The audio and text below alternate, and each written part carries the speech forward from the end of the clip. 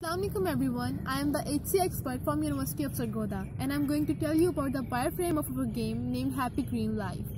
When you click on your mobile screen or on your laptop screen, this screen appears here. And in the second screen, the game starts loading. And in the third screen here, there's an actor here which will play the role. There's an option of tap to play. When you click on it, the game will start playing. This option, top one shows the highest score have been achieved all over the world. This shows that how much coins you have achieved.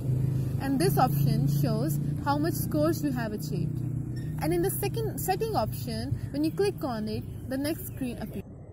This screen appears.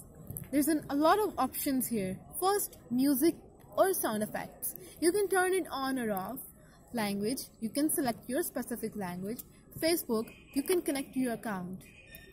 Here, more options are here. Reminders, support, contact us, you can contact with the system. Withdraw consent, privacy policy, it opens your browser. Here are the options. The score, it shows how, how much scores you have achieved here. And play with friends, it can connect your account with the Facebook through which you can play with your friends. When the game starts, this screen appears.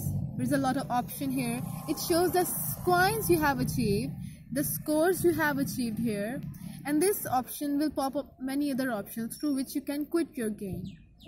This area shows the, the green because it's a happy green life. You can grow more trees here.